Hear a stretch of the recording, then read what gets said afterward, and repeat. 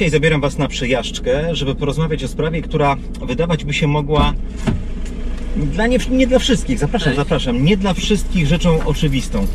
Chcemy porozmawiać o tym, jak to jest w kraju, w którym nasze pokolenia, te, które żyją, pamiętają ciągle biedę.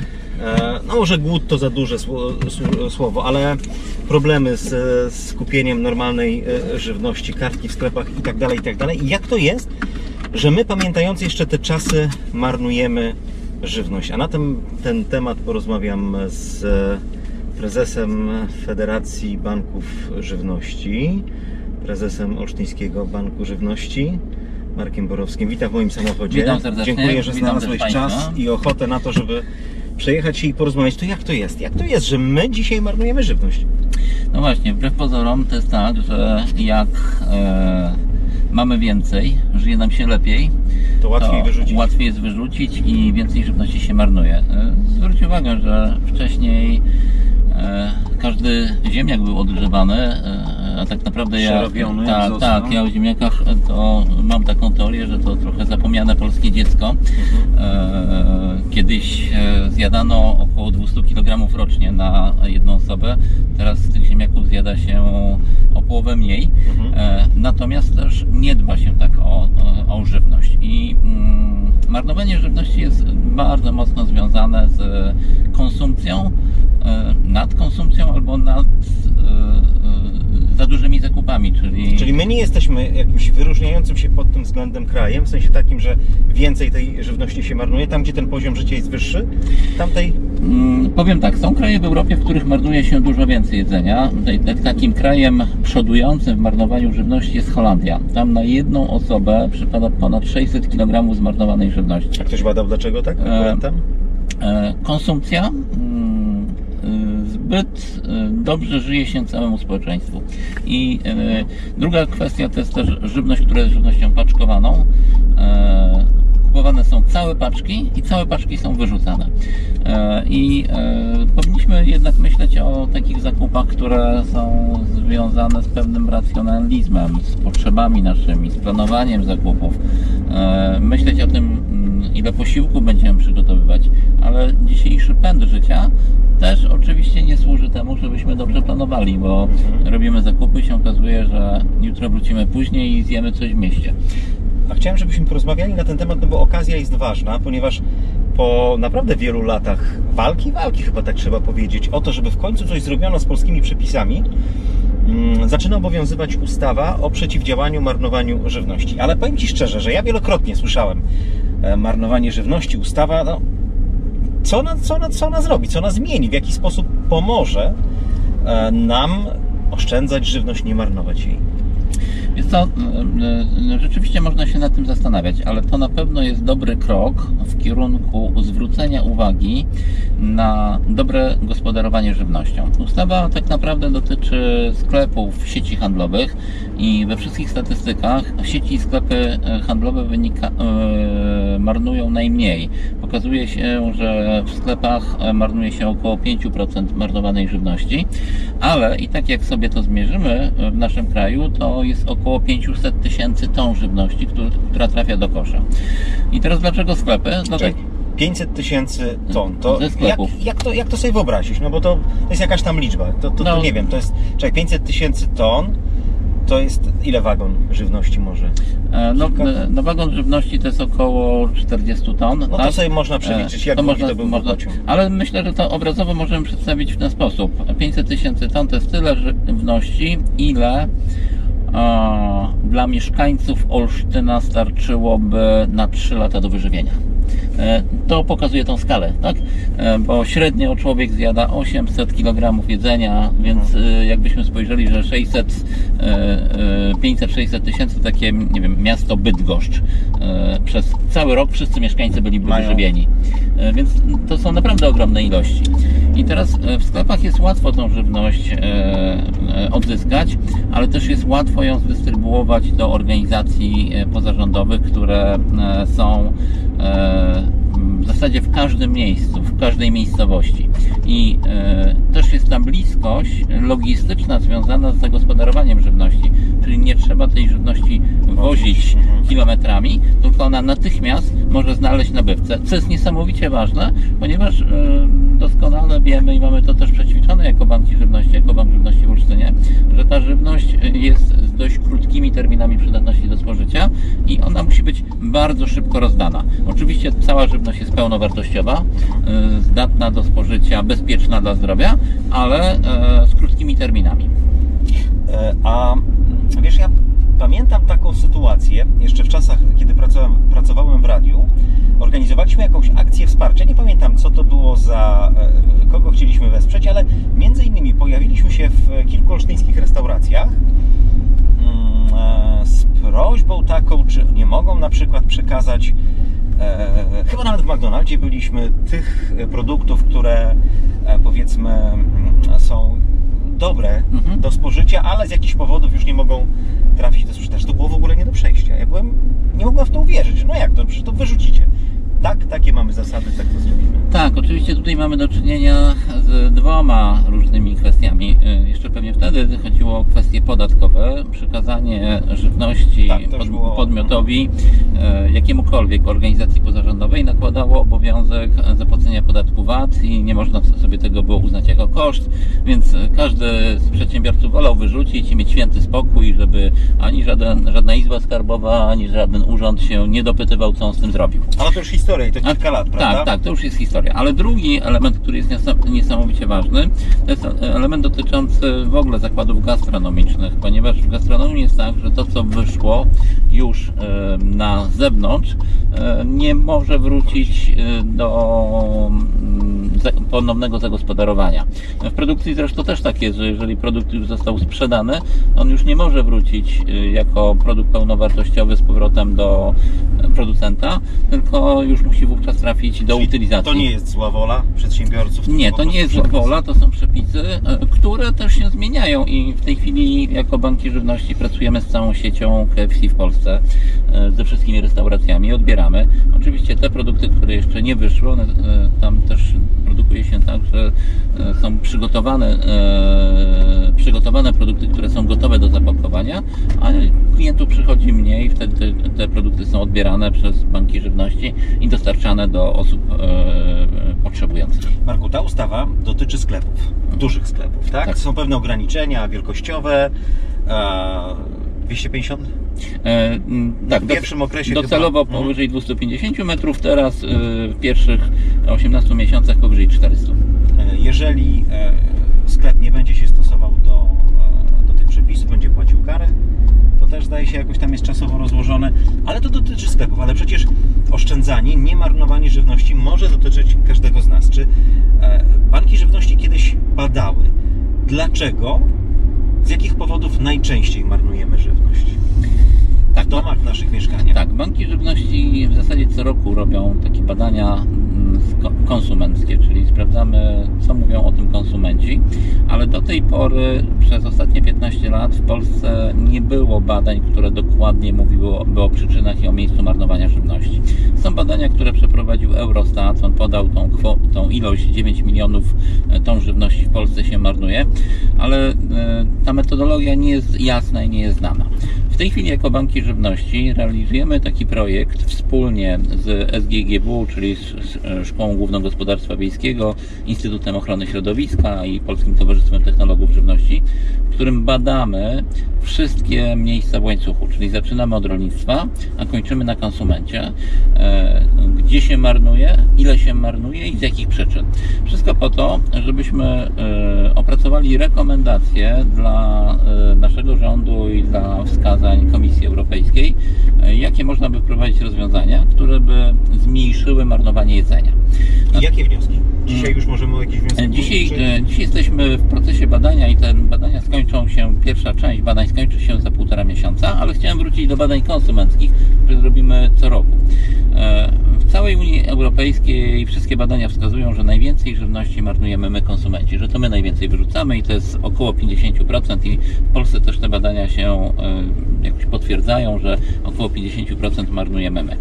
I e, jako konsumenci co nam mówią w naszych badaniach? Mówią, że najwięcej żywności marnuje się ze względu przegapienia terminu przydatności do spożycia. e, zrobienia za dużych zakupów. Na trzecim miejscu dopiero jest nieodpowiedni produkt smakowy, jakościowy, czegoś innego się Nie udało się tak, czegoś innego się spodziewał. E, Natomiast e, wśród tych ważnych przyczyn też e, marnowania jedzenia jest sposób przechowywania żywności w domu. My tak naprawdę nie do końca umiemy żywność przechowywać, często kupujemy za dużo i często wyrzucamy takie końcówki opakowań. Kupiliśmy nowe. Patrzymy, no to już jest data dość stara, e, wolę świeższe. Wtedy e, wyrzucamy. Ale też bardzo ważną kwestią jest e, mm, takie myślenie o w ogóle swoim życiu i funkcjonowaniu. Ile ja będę jadł posiłków, ile osób będzie jadło posiłki, w jakim czasie.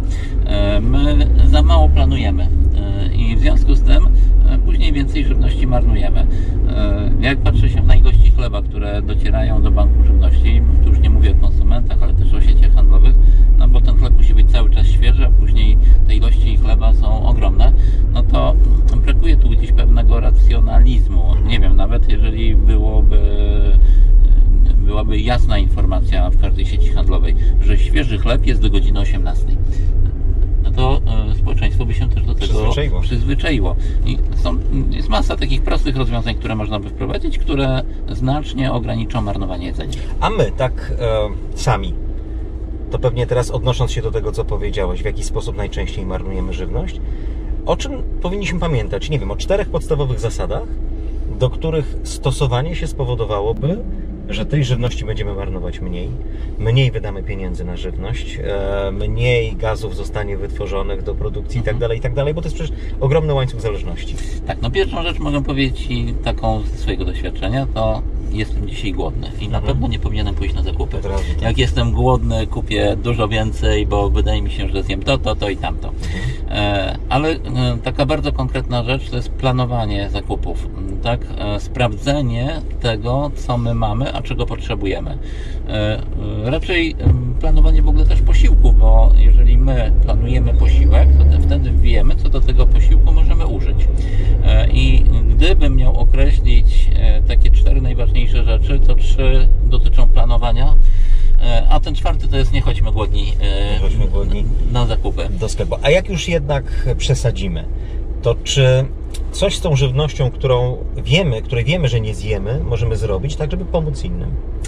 E, tak, już w tej chwili jest e, e, trochę też rozwiązań różnych technologicznych. Olsztyn jest na razie jeszcze słabo rozwinięty w tych obszarach, ale e, też jako Bank Żywności e, w tej chwili szukamy e, osób, z którymi moglibyśmy zain- zainicjować powstanie punktów food- sharingowych. Czyli to są takie miejsca, które się rozwijają w Warszawie, Krakowie, Gdańsku, Poznaniu, w większych wszystkich miastach, gdzie są stawiane takie społeczne lodówki. I każdy, komu zostało jedzenie, Może do tej lodówki przynieść i je zostawić. Ale też są e, rozwoje, jest rozwój całych e, takich urządzeń technologicznych. E, W tej chwili też podjęliśmy jako banki żywności z taką firmą Go2Go e, współpracę. Jest to aplikacja, która pozwali, pozwala odsprzedać żywność po niższej wartości, głównie restauracjom i sklepom, w końcówce dnia. Natomiast też jako banki żywności, jako Żywności w Olsztynie pracujemy z firmą Electrolux nad taką e, aplikacją, która dotyczy zagospodarowania żywności, czyli takiej komuniko- komunikowania się. Jest to też kwestia budowania społeczności, która w ten sposób chciałaby żyć i chce funkcjonować i chce taką żywność odebrać, ale e, ta aplikacja z jednej strony ma umożliwić taki wirtualny food sharing, czyli połączyć e, tego, który chce oddać z tym, który chce pobrać, a z drugiej strony e, jest też cały moduł taki dla nas, dla banków żywności, czyli jeżeli mamy żywność, to komunikujemy się z organizacjami, z którymi współpracujemy, żeby one wiedziały, co mamy i e, żeby też ta, ten sposób komunikacji był bardzo szybki, bo czasami żywność jest krótkim terminem. Myślę, że tutaj w Olsztynie nie mamy wątpliwości, że właśnie Olsztyński Bank Żywności przyczynił się do tego, by w znacznym stopniu tę świadomość społeczną e, zmieniać. No to, co tutaj robiliście, bo przecież byliście inicjatorami chyba w skali całego kraju tego typu, e, tego typu działań. I teraz nie powiedzieliście stop, rozwijacie się dalej i rozwijacie tę swoją działalność e, społeczną, czego efektem jest kuźnia społeczna, miejsce, które niedługo, e, bo za miesiąc, e, za niespełna miesiąc oficjalnie otworzycie miejsce, które ma być po pierwsze no, miejscem skupiającym różnego rodzaju organizacje społeczne, tak? Chcecie dać miejsce im do funkcjonowania, ale też jakby organizując różnego rodzaju działalność, zarabiać na e, swoje działania te e, promujące no, chociażby walkę o niemarnowanie żywności. E, tak, e, działalność Banku Żywności w Olsztynie zdecydowanie mm, ona się bardzo mocno rozszerzyła i ona zahacza różne aspekty. Jedna rzecz to jest ta cała działalność związana z żywnością, z niemarnowaniem, zagospodarowaniem, z dotarciem do tysięcy osób potrzebujących i tutaj można operować liczbami, które niektórym coś mówią, innym nie, ale w skali roku docieramy do około 60 tysięcy osób w sposób systematyczny w naszym regionie e, za pośrednictwem około 250 organizacji. Ale drugi obszar, który realizujemy, to jest właśnie ta bardzo ważny obszar edukacji. Edukacja w zakresie zdrowego odżywiania, niemarnowania, gospodarowania budżetem i to jest coś, co jest bardzo potrzebne i my widzimy, że mm, dzieciaki tego potrzebują, bo prowadzimy różne projekty, w tej chwili. Projekt Ekomisja dotyczący planety, pokazujemy jakie skutki marnowanie żywności przy- yy, niesie negatywne na rzecz planety, ile marnujemy wody, ile marnujemy pracy, prądu i wszystkich naszych zasobów, ale też trzeci obszar, w którym działamy, to jest ten obszar aktywizacji zawodowej i społecznej i my też uważamy, że każda osoba, która znalazła się w trudnej sytuacji, ma szansę z tej sytuacji wyjść poprzez no, podanie jej ręki. W tych projektach podajemy rękę, e, szukając im e, przekwalifikowania, innej pracy, predyspozycji. E, Zastanawiamy się, jak pomóc rodzinie. Rodziny mają różne problemy, prawne czasami, czasami lokalowe, e, czasami takie emocjonalne z sobą i trzeba też trochę popracować z nimi, żeby e, pokazać w jaki sposób ta rodzina prawidłowo powinna funkcjonować, jak się spędza czas z sobą. To często są takie bardzo proste rzeczy, ale e, trudne do zrealizowania. Też często nie jest to wina tych osób, dlatego że one mm, nigdy nie doświadczyły e, I nie wiedzą, że może być wiedzą, inaczej. że może być inaczej. Natomiast e, rzeczywiście kuźnia społeczna, którą otwieramy e, za chwilę, to jest taki miejsce, budynek, który łączy te wszystkie idee i my chcielibyśmy, żeby w tym budynku się działo bardzo dużo e, różnych działań, konferencji, szkoleń, spotkań, e, meetingów dotyczących e, mm, tego trendu e, zero waste'owego, czyli e, wykorzystania do końca żywności, e, e, niemarnowania żywności, żywienia. Generalnie to, co łączy Bank Żywności i kuźnię, to na pewno jest żywność. I wokół żywności wszystkie te działania. A e, kuźnia jest tak pomyślana, że to jest miejsce, które docelowo ma służyć też generowaniu pewnego dochodu na rzecz e, działalności statutowej Banku Żywności. Coraz trudniej nam się pozyskuje pieniądze z samorządów. E, samorządy są coraz bardziej e, obarczane. Coraz mniej mają pieniędzy. Coraz mniej mają pieniędzy i my widzimy też, ja widzę, że Bank Żywności, jeżeli nie zacznie myśleć ekonomicznie o swoim bycie, to za chwilę nie będziemy w stanie realizować misji. W tej chwili e, rząd, e, Sejm przyjął ustawę, za chwilę ta ustawa będzie wdrażana. Co to powoduje dla nas, dla banków żywności? To powoduje zwiększenie kosztów. I to zwiększenie e, dużych kosztów, bo w tej chwili nasze dwa samochody jeżdżą codziennie, ze sklepów odbierają żywność. Za chwilę będzie musiało, będą musiały być cztery samochody, ale też przygotowujemy organizacje z terenu, które odbierają żywność i często dokumentacja przechodzi przez nas. W związku z tym to są e, e, fizyczne koszty, które są związane z człowiekiem, z paliwem, z samochodem, e, z informatykiem, z fakturzystą i te, tych kosztów jest coraz więcej, więc my musimy myśleć gospodarczo po to, żebyśmy mogli uratować więcej jedzenia. I taki jest cel tego miejsca 20 września. Tak, 20 września. 20 września otwarcie. Kochani, no zachęcamy Was do tego przede wszystkim, by, by myśleć. By myśleć, robiąc zakupy, by planować, tak jak powiedziałeś, odpowiednio te zakupy, tak by potem nie musieć mierzyć się z problemem e, tej, no, z tym, co zrobić z żywnością, która, która jest jeszcze w, w stanie takim nadającym się do spożycia, a, a my już nie, e, nie damy rady. Dziękuję za rozmowę. Podjeżdżamy pod budynek, e, w którym jest Wasza siedziba, ale pewnie jak tam będzie wszystko zrobione, to przeniesiecie się. Tak? E, Pewnie się przeniesiemy. Ja chciałbym też jeszcze z jednym takim apelem e, dotyczącym wspierania organizacji pozarządowych i wspierania Banku Żywności, ponieważ e, jedna złotówka zainwestowana w Bank Żywności to jest 8 kg pełni uratowanej żywności. I naprawdę warto wspierać e, organizacje pozarządowe, które wykazują się tym rachunkiem ekonomicznym i to jest e, korzyść dla planety, korzyść dla nas. E, Możemy e, nie zmarnować jedzenia i to jedzenie wykorzystać dla tych, którzy potrzebują i nie dają rady dzisiaj. Tutaj nie ma co dodawać więcej. No, myślę, że każdy jest w stanie to sobie policzyć. Dziękuję za, za przejażdżkę, za rozmowę. Wielka Orkiestra Świątecznej Pomocy i Twój podarek. Tak, no, oczywiście. Mm, e, mm, recenzowałem książkę Sylwii Majcher, Gotuje, nie marnuje, Kuchnia Zero Waste. Są bardzo fajne przepisy. To oczywiście już jest dedykacją z pozdrowieniami. Zachęcam do stosowania się. Bierzemy. O, to jest prezent. To jest książka, która trafi do tego wielkiego pakunku, który będziemy licytować e, podarków od gości, którzy e, no, byli w moim studiu i e, opowiadali o ważnych sprawach. Dziękuję serdecznie. Marek Bardzo Borowski, dziękuję. Olsztyński Bank Żywności, Polska Federacja Banków Żywności. Szanujmy, oszczędzajmy, nie marnujmy żywności.